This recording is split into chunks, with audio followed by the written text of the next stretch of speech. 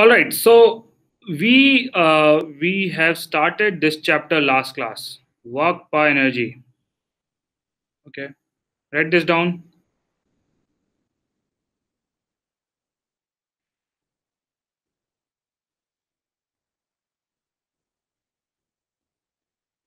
So what we did last class was that we have just introduced the concept of work, okay, and then we have introduced uh, kinetic energy, okay, and uh, towards the later part we have uh, got a relation between the work done on a mass, okay, and how much kinetic energy is changing, okay. So we got a very simplistic expression that total work done total work done on a single mass is equal to change in kinetic energy. So K2 minus K1 is the work done. Fine. It, it's a very simple, straightforward relation.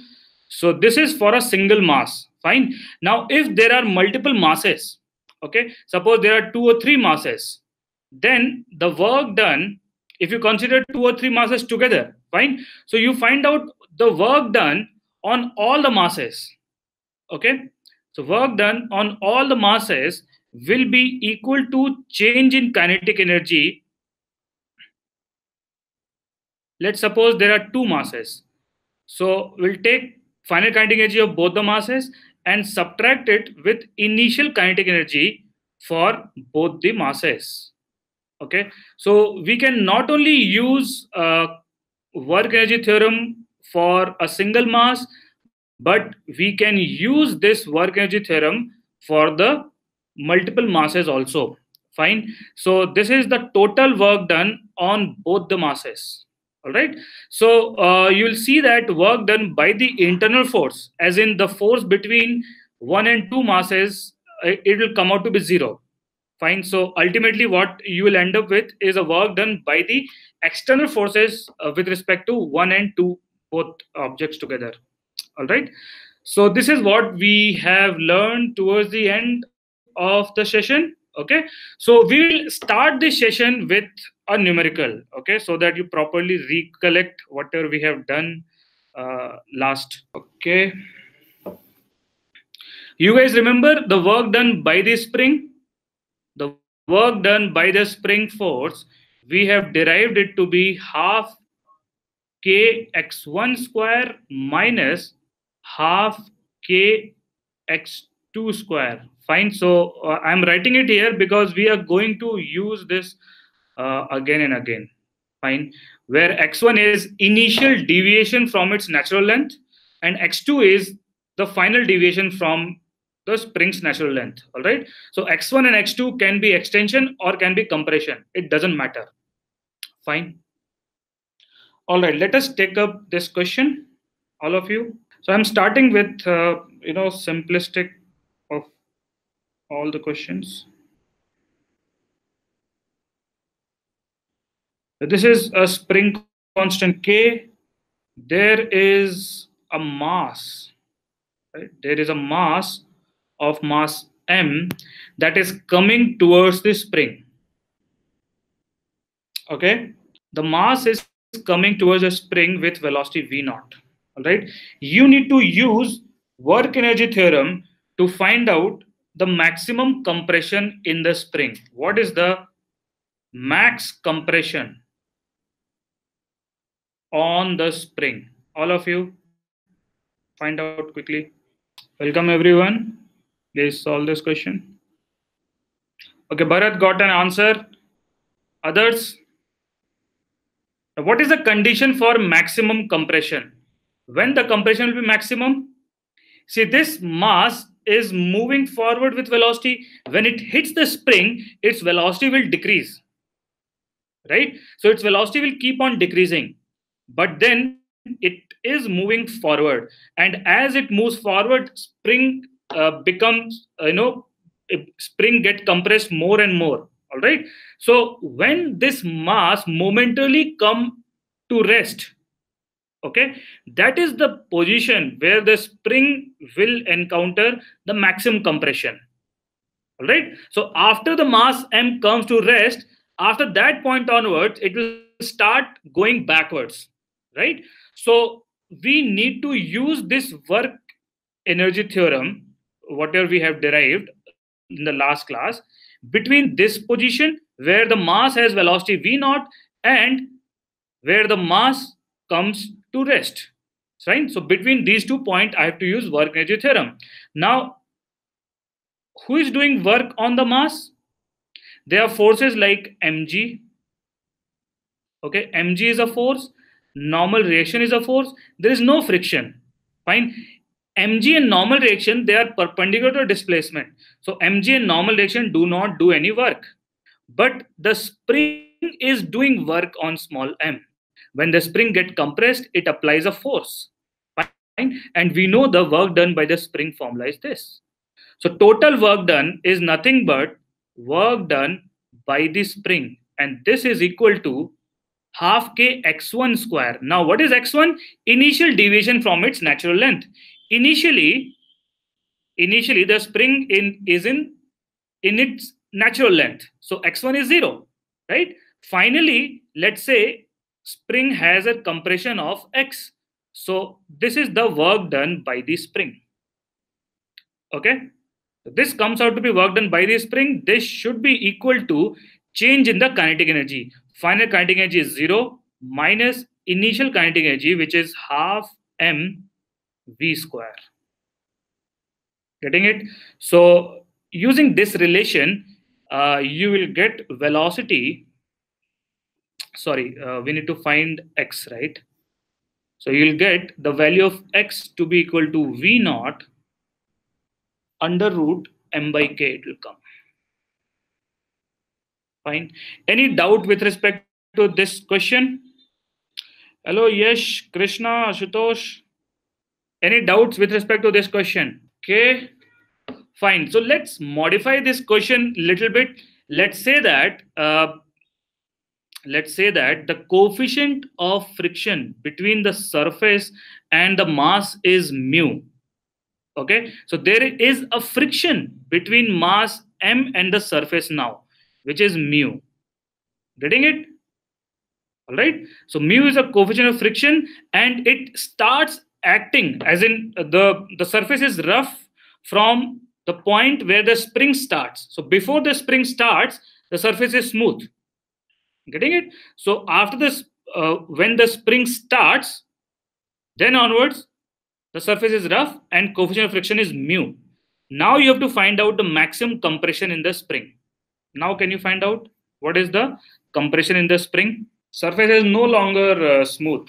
Now you will see that not only work done by the spring will be there, but work done by the friction will also feature. Getting it? So there will be two work done now. Earlier, friction was not there and normal and mg were not doing any work okay? So only work done by uh, spring used to come. Now the friction is also there. So work done by friction will also come in this particular case.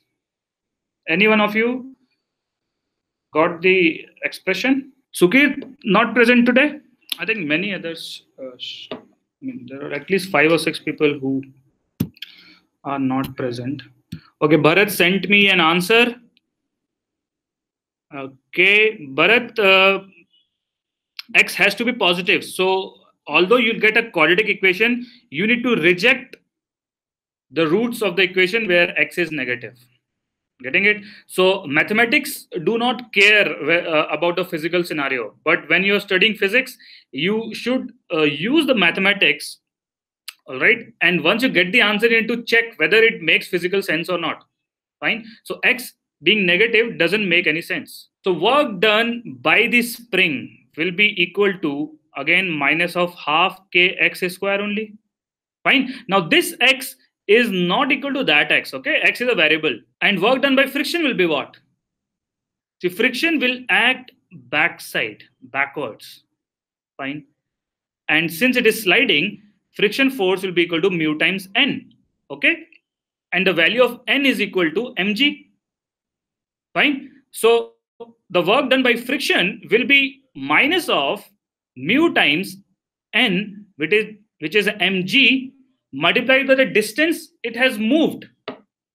So into x. Fine. So total work done on this block will become how much? Minus of half kx square minus mu mgx. This is the total work done. And this is equal to change in its kinetic energy. Final kinetic energy is 0 minus initial kinetic energy, which is half m into v square. Okay. So any doubt with respect to this question? I hope uh, many of you got this equation correct. All of you got it? Any doubts? Okay, I'm assuming uh, all of you understood this particular question. In case you have any doubts, feel free to uh, message on the chat box or you can message me personally or WhatsApp, whatever it is. Okay, so good. We'll take up a few more questions because see, mechanics is more of problem practice. Fine. So we cannot just discuss theory and that's it. So it is 90% problem solving and only 10% is the theory part. Anyways, draw this diagram with me.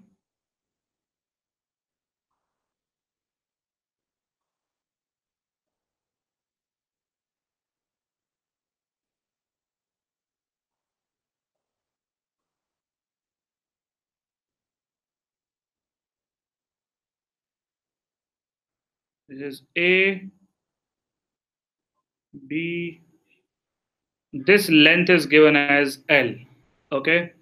And this height is given as H. Fine. So particle slides along a track with elevated ends and the flat central part as shown in the figure. So B to C is a flat central part. Okay. The flat central part has a length of L is equal to 3 meters. Fine. The curved portion of the track are frictionless. So there are no friction on these curved parts. So A to B and C to D, they are smooth. Fine. And for the flat part, from B to C, there is a friction with mu is equal to 0.2. Getting it? Now the particle is released from a height of this h value is given as 1.5 meter. Okay. And also ignore any bumps it can encounter uh, not near the transition between the uh, let's say flat portion and the curved portion. So it smoothly transitions. So there is no loss of energy as such. Okay? So you need to find out till what height it will reach on the other curved surface. Let's say it reaches here. You need to find out what is this height. How much is this h? Getting it? You need to find the value of h. All of you please try this out. See whatever is not given you can assume okay? You can say okay mass is m. If it is not given probably the answer is independent of that. But then if you want just take it as m. Okay people are getting answer. That's that's wrong uh, sukrit bharat ashutosh that's not correct. Anyways so okay let's see. Let's try solving this.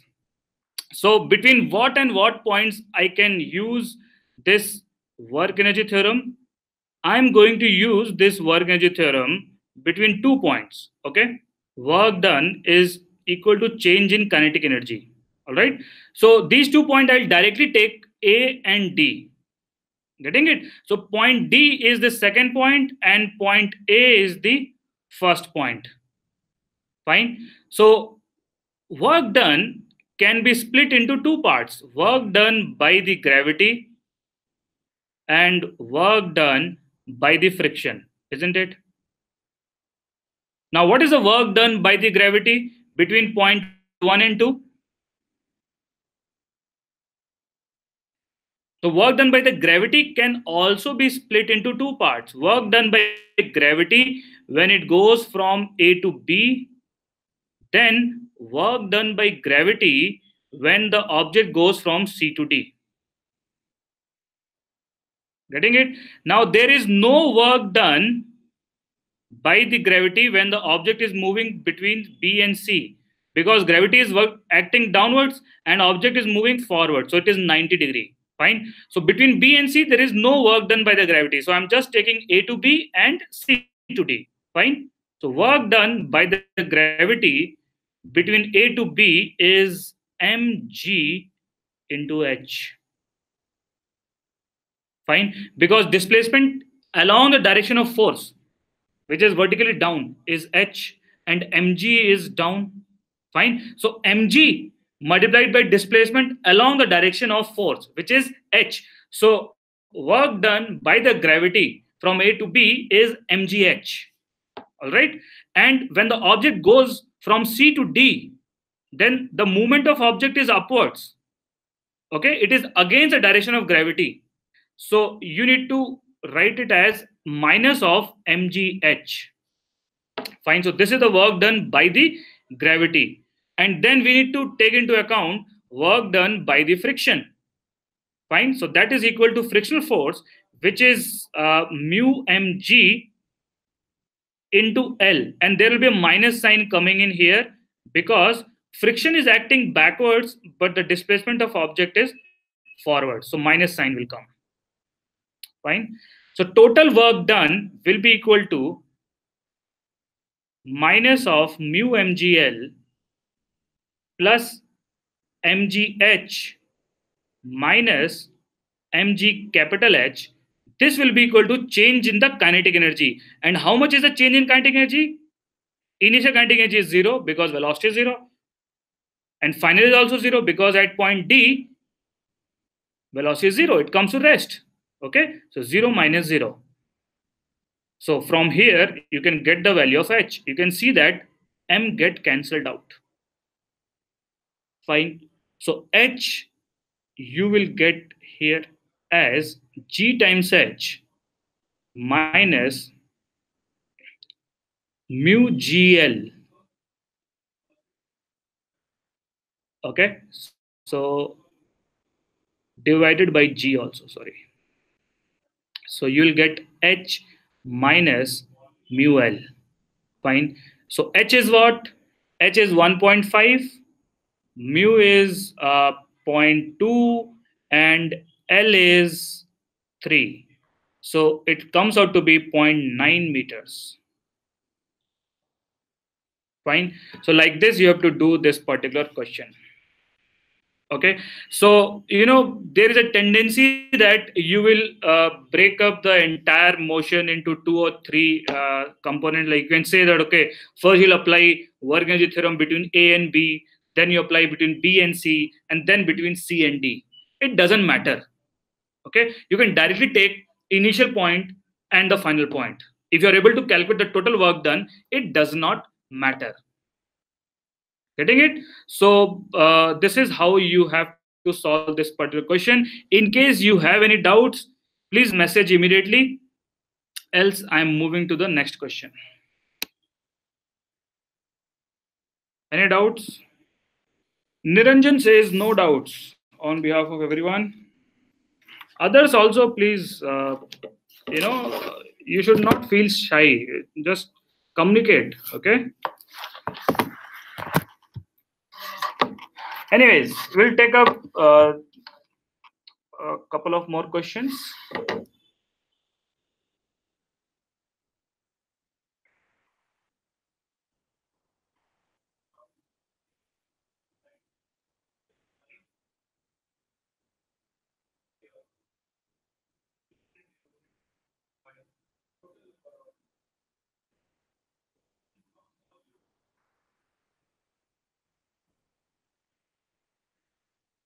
All of you draw this.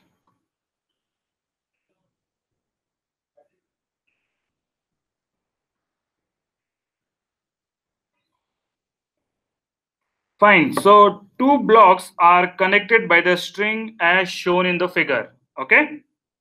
They are released from the rest. Show that after they have moved a distance L or after they have moved a distance of L, what is the velocity of M1 and M2? okay, where coefficient of friction between the horizontal surface and M1 is mu. Okay. Pulley is massless and frictionless. The string is inextensible and massless. All right. So get the value of uh, the velocity of M1 and velocity of M2 when both the block move by a distance of L. They'll both move the equal distance, right? M1 if it moves by L, M2 also moves by L. Now you have to apply energy theorem on both blocks together, M1 and M2.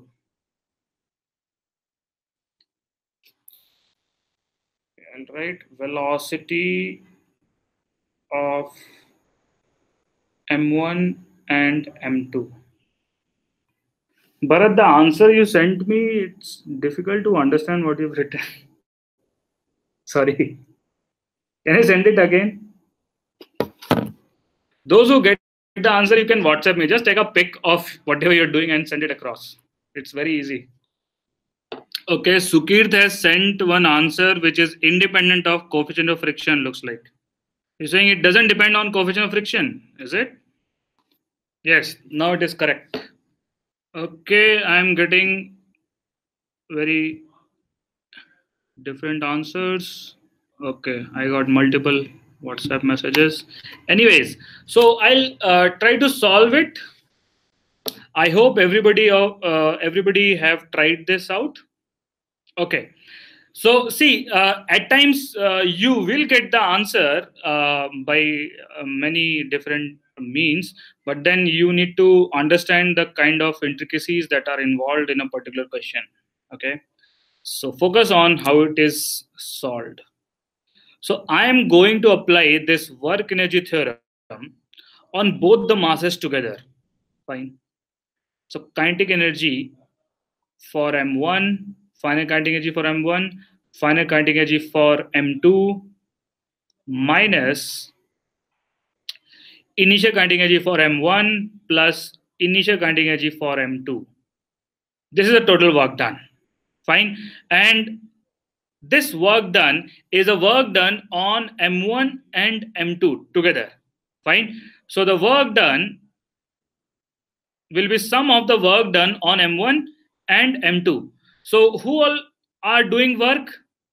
Friction on M1 is doing work, isn't it? So if this block moves a distance of L, so how much the friction will do the work? Minus of mu m1g into L because friction is acting opposite of the displacement. So minus mu m1g into L is a work done by the friction on m1. Fine. And who else is doing work?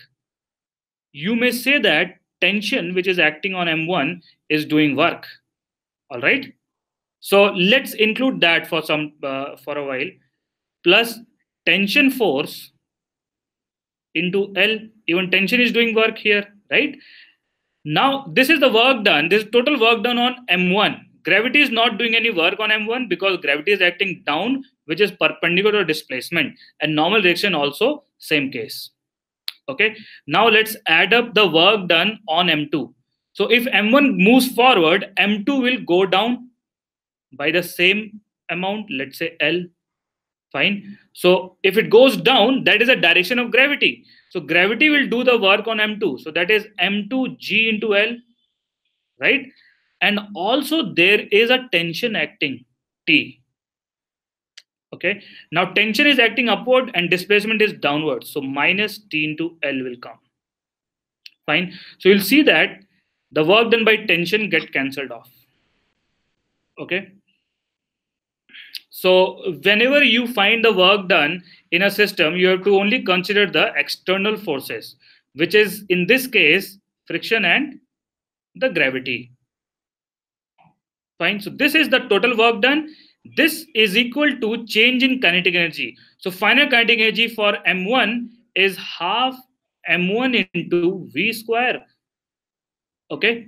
Plus for M2, it is half M2 into V square right? Because velocity of both the masses will be same. They're connected with a inextensible string. So this is the final kinetic energy of the system minus initial kinetic energy of the system is zero for both the masses. Fine. So just you equate these two, uh, you'll get the answer for velocity. Okay. So I hope you have got this. Let's move to next question. Okay, what is the final answer? What Sukrit has sent is correct. Just multiply m1 with mu. Then the Sukrit answer is correct.